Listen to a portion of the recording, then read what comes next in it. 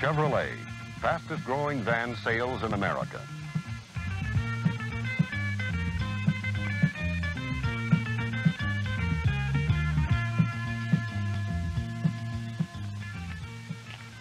There's one important yardstick for measuring the difference between Chevy, Dodge, and Ford vans. Value. How much value is a customer getting for his or her buying dollar? Let's examine some of the value features of Chevy's vans and compare them with Dodge and Ford. Interior space is the whole idea of a van. To provide a large amount of room for bins and racks, cargo, van furnishings, extra long loads, and comfort without an extra long wheelbase. Let's see how the standard long wheelbase models of Ford Econoline, Dodge van, and Chevy van compare. For example, let's try loading a mast for a small sailboat into each of these vans. The Ford van,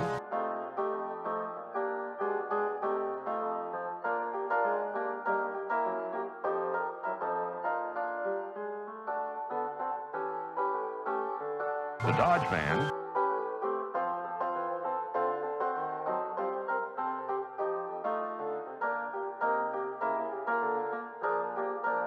and the Chevy van. With over 8 inches more cargo length than Dodge and 2 inches more cargo length than Ford. Now let's look at something big, van payload capacity, because that too is an important measure of that. Here is Chevy's best-selling van, the 125-inch wheelbase, three-quarter ton G20 model, being loaded to its limit, 2,747 pounds, with a big, heavy delivery of industrial solvent. It's really loaded, but not overloaded. Remember, they're going to have to unload all that heavyweight cargo at the other end of the line. They could put the same cargo in Dodge's best-selling van, a 127-inch wheelbase B200 van, but there's one important difference. Dodge's B200 payload capacity is 222 pounds less than Chevy van, even though it has a longer wheelbase.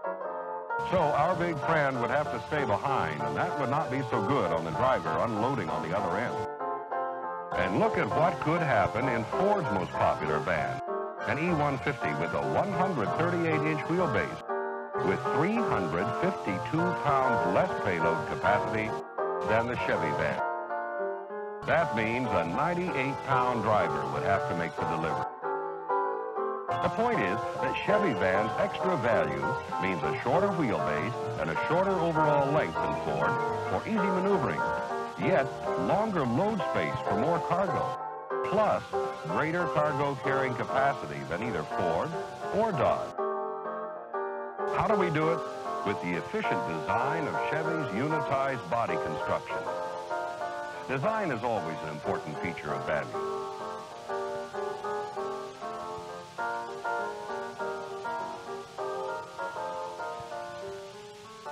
With Chevy van, you get the advantage of more convenient loading and unloading, easier entry and exit, an important mark of value in a van. The effective Chevy van sliding side door opening is over three inches wider and over an inch higher than the Econoline sliding side door, and over four inches wider and two inches higher than the effective Dodge van sliding side door opening. Chevy van rear doors are also higher and wider than the rear doors of both Ford's Econoline and Dodge's van. Convenience is another consideration when determining van value. Look for it in Chevy's design and innovative options, which are not available on Ford or Dodge vans. Options like Chevy van's new power front windows, the available handy lockable storage compartment under the passenger's front seat, or the available factory-installed roof ventilator to help improve air circulation that's not available on Ford. Both Ford and Dodge offer rear air conditioners, but Chevy's optional rear air conditioner is located high at the back of the interior. Compare it with the side-mounted rear air conditioner of Ford's, which is similar in design to Dodge. With this location, Passengers could obstruct the airflow. Only Chevy van provides anti-skid strips in front stepwells as a standard feature. Neither Dodge or Ford provide standard anti-skid strips. And only from Chevrolet can you order a factory-installed optional sliding side door extender link to accommodate customized fender flares and wide tires. How do you achieve value? Through thoughtful innovation. This security option is not available from Ford or Dodge.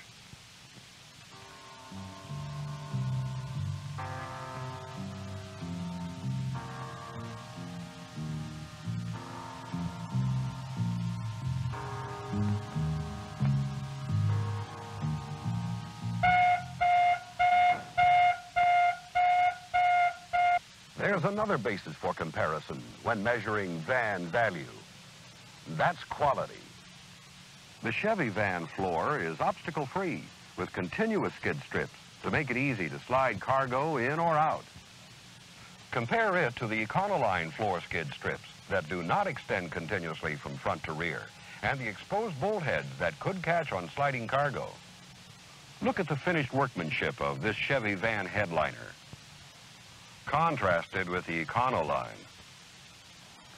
Differences in value that you can see if you know where to look. Chevy van puts the license plate here on the bumper so that a spare tire can be mounted outside here. But on the Dodge van and the Econoline, the license plate is mounted in the door. And it means that an outside spare tire must be mounted on the right side where it can interfere with normal door operation. And notice this Dodge van rear door.